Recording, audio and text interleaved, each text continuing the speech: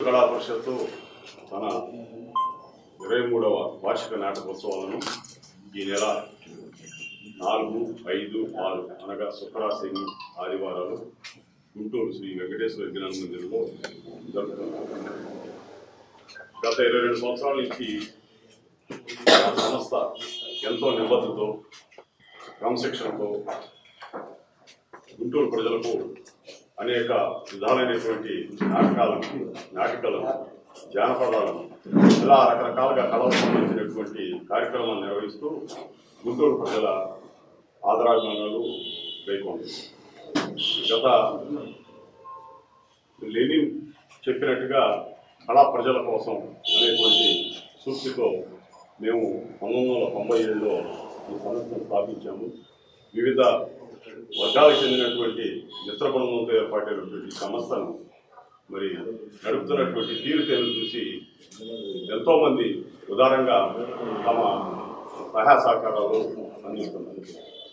ఈ సంవత్సరం జరిగేటువంటి ఈ కార్యక్రమాలకి విజ్ఞాన మందిరం ప్రాంగణంకి ఇటీవల మరణించినటువంటి విప్లవ నటుడు నిర్మాత మాదాల రంగారావు గారి నామకరణం చేయడం జరిగింది.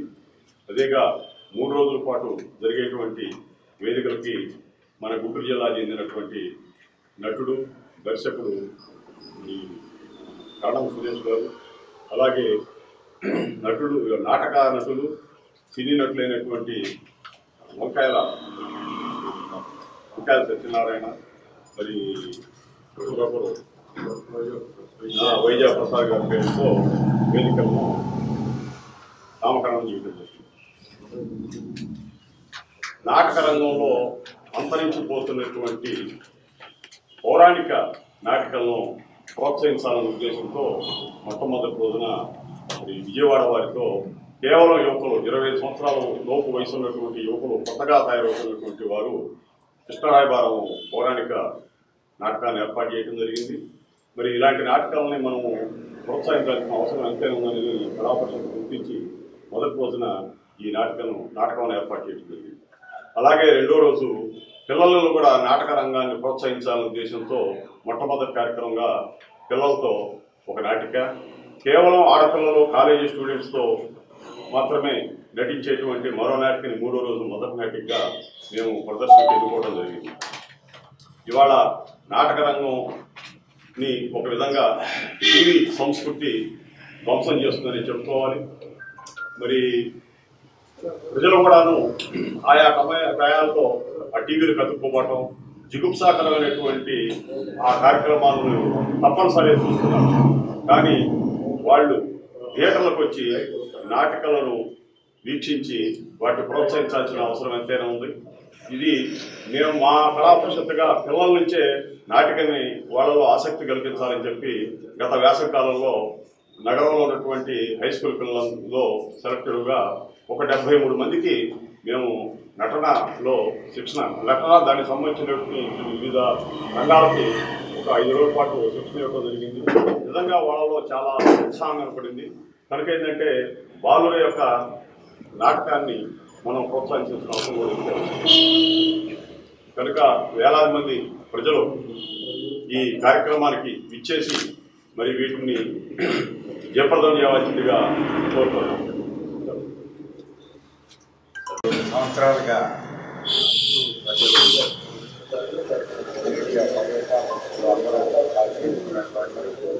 ఈ యాత్రలో ఇరవై రెండో సంవత్సరం ఇరవై మూడో సంవత్సరం ఈ సంవత్సరం జరుగుతుంది. ప్రధానంగా మేము తీసుకున్నటువంటి విషయం ఏమో కుటుంబ సంస్కృతి సమయ పాలన ఈ రెండింటిని ప్రధానంగా తీసుకుని కుటుంబాలతో వెంకటేశ్వర విజ్ఞానం వచ్చి ఈ ప్రదర్శన చూడాలనేటువంటి సామాజిక బాధ్యత కలిగినటువంటి బాధ్యత తీసుకుని మనం ఈ కార్యక్రమం గత ఇరవై రెండు సంవత్సరాలుగా తీసుకోవడం జరిగింది.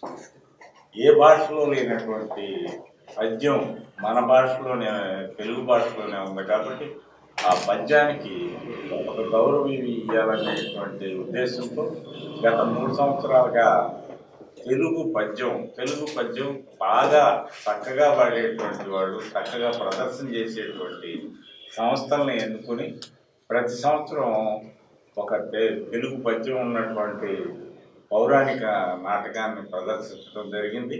అట్లాగే వారసత్వం నాతో పాటు వారస మంచి వారసత్వం రావాలని పిల్లలు పిల్లలు కాలేజీ స్టూడెంట్స్ కూడా దీంట్లోకి రాకపోతే ఈ నాటకం రోజు రోజుకి కొంచెం భిన్నమైనటువంటి పరిస్థితిలో ఉంది ఆ బాధ్యత కూడా తీసుకుని మేము ఈ సంవత్సరం ఒక మా అధ్యక్షుడు చెప్పినట్టు ఒక ప్రయోగం చేస్తే మంచి ఫలితం కూడా వచ్చింది.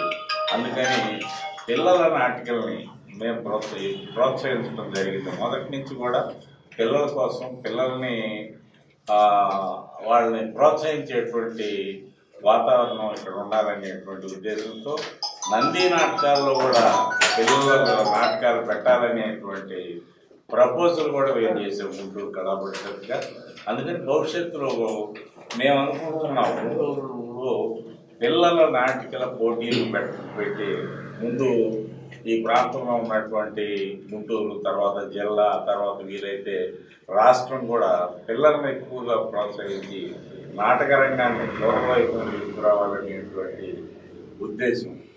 నూట ముప్పై ఐదు సంవత్సరాల నాటక చరిత్రలో మేము కూడా ఒక ఇరవై రెండు సంవత్సరాల ప్రయత్నం ప్రయాణం చేశాం.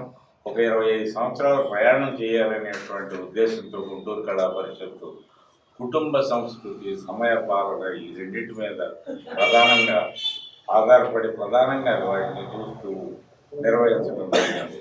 భవిష్యత్తులో కూడా అవి ఈ ప్ర ఈ ప్రయత్నంతోనే జరుగుతుందని చెప్పి ఈ మూడు రోజుల యొక్క ప్రోగ్రాంలు ఇందాక నేను చెప్పినట్టు మా తాండవ చెప్పినట్టు కృష్ణరాయ గారు అనే పద్యనాటకం ఇరవై ఐదు సంవత్సరాల లోపు బాగా చదువుకున్నటువంటి పిల్లలు కొత్తగా ఈ వీటిలోకి వచ్చి పాత అలవాట్లు లేని కొత్త ప్రయోగం చేస్తున్నారు. ఆ వారసత్వాన్ని పద్యనాట పద్యాన్ని చాలా గొప్పగా పాడుతున్నారనేటువంటి ఆ వాళ్ళ వాళ్ళ టీం ద్వారా తెలిసింది. అట్లాగే మొదటి రోజు అది మాధవ రంగారావు కళా ప్రాంగణం అని మేము పెట్టాము. మా సాహిత్యుడు ఆయన ప్రజానాట్య మండలి ప్రజానాట్య మండలిలో బాగా పనిచేసినట్టుంటే ఆయన.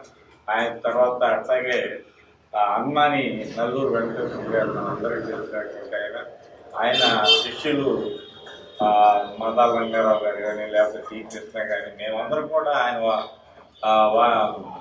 ఆయన ఆ- ఆలోచనతో ప్రయాణం చేసేటువంటి వాళ్ళు.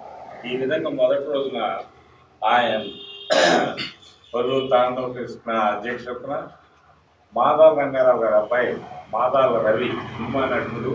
ఆ వారసత్వాన్ని ఆయన కూడా తీసుకుని ఆ, సినిమాలు చేస్తూ ఉన్నాడు. అతను ముఖ్య అతిథిగా వస్తున్నాడు. అట్లాగే నల్లూరు వెంకటేశ్వర గారు ఈ కళా పరిషత్తు ప్రారంభోత్సవం దగ్గర నుంచి అన్ని విషయాల్లో మాకు సహకరించేటువంటి ఆయన.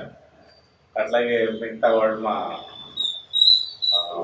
కళా పరిషత్ సభ్యుడు ఆ రోజున ఒక్క మధ్యనాటకం కృష్ణరాయ గారు అనేటువంటి